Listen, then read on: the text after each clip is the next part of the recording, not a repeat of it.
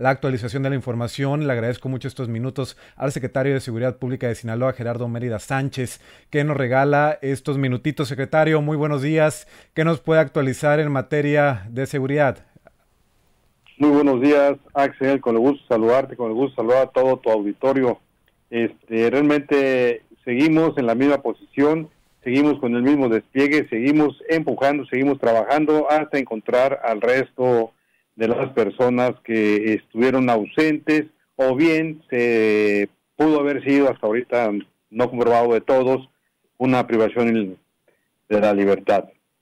Preguntarle, secretario, ustedes ayer de manera oficial, eh, usted y el propio gobernador daban la cifra oficial de 58 personas que ya habían sido localizadas, que ya estaban en casa. Por la tarde se comunicó eh, la localización de otra mujer.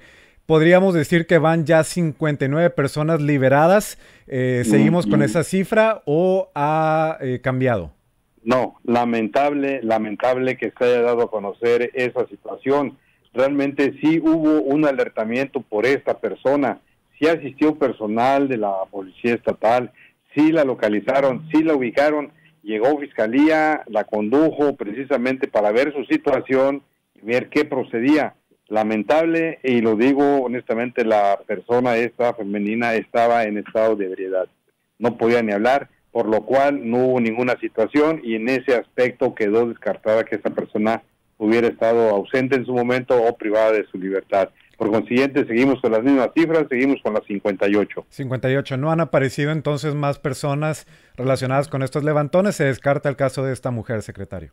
Así es, exactamente. Nos faltan ocho y por esos ocho seguimos el trabajo hasta saber su destino final, que sea que estén en su domicilio o bien que aparezcan y poderlas conducir para ver si nos quieren apoyar, sobre todo a la Fiscalía, para poner alguna denuncia o dar información que nos lleve precisamente a quién pudo haber sido que haya efectuado estos actos o este acto. Muy importante aclaración la que nos da, secretario. Preguntarle también sobre el enfrentamiento de eh, la madrugada del domingo. ¿Hay alguna nueva información? Eh, afortunadamente esta madrugada pues no hubo ya reportes de hechos de violencia, secretario. Sí, así es. Sigue, sigue la, la misma situación. Lamentablemente se tuvo el deceso de un elemento de las Fuerzas Armadas y otro lesionado ante tal situación se produjo y se sigue trabajando en ese sentido y en la investigación. Se tienen algunos indicios que no puedo yo comentar ni puedo yo abundar porque ese trabajo lo lleva precisamente la Fiscalía correspondiente y lo llevan las Fuerzas Armadas en ese sentido. Confirmando, secretario, eh, ¿fueron tres detenidos eh, por este enfrentamiento? desconozco, oficialmente desconozco la situación.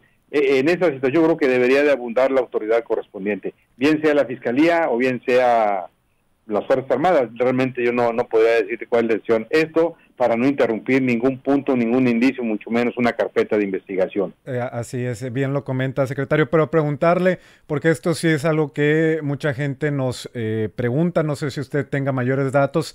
Eh, sigue cerrado entonces el malecón nuevo de Culiacán por esta misma situación, este enfrentamiento de ayer. ¿Alguna idea o algún indicio de cuánto tiempo más podría estar cerrada esta vialidad? No, el malecón ya quedó abierto. El día de ayer eh, estuvo cerrado, sí, gran parte de, la mañana, del día, porque se estaban llevando a cabo los levantamientos de los indicios que pudieran llevar o conducir hacia una investigación más profunda por parte de las autoridades. Está completamente abierto, ya se puede circular sin ningún problema. Ya se puede circular, eh, porque hace unos minutitos sí nos reportaban que estaba el cierre, pero entonces eh, se va a abrir ya a la circulación. Sí, completamente debe de quedar abierto. De eso vemos ahorita la situación, pero debe de estar abierto ya a esta hora. Ok, vamos a revisar. También nos preguntan, secretario, eh, un llamado a la ciudadanía. ¿Pueden salir hoy por la mañana a hacer sus actividades cotidianas? Estamos en periodo vacacional de las escuelas, pero los trabajos continúan. ¿Qué le puede decir a la ciudadanía en ese sentido? Definitivamente hacer una vida normal, hacer sus traslados como lo han hecho siempre, sin ninguna preocupación. Esos hechos realmente se, son atípicos y no es contra la sociedad directamente. Son algunas cuestiones que tendremos que determinar, principalmente porque se maneja la situación de ausentes y posteriormente ver si hubo alguna cuestión de privación ilegal de la libertad. ¿Por qué? Porque no han querido denunciar. Las personas que han aparecido no han querido denunciar, no han querido decir nada Entonces, toda la, investigación se está llevando en campo y se está profundizando por medio de las policías, por medio de las fuerzas de seguridad. Ninguna denuncia entonces todavía estas 58 personas, ninguna ha querido ir formalmente ante la fiscalía. Este, sí, eh, puedo ser certero, de todas estas hubo cuatro denuncias que está manejando la Fiscalía del Estado. Hasta ahí el comentario que te puedo hacer respecto a esas denuncias, ya que esto es la, labor de investigación que, está haciendo la Fiscalía. Cuatro únicamente.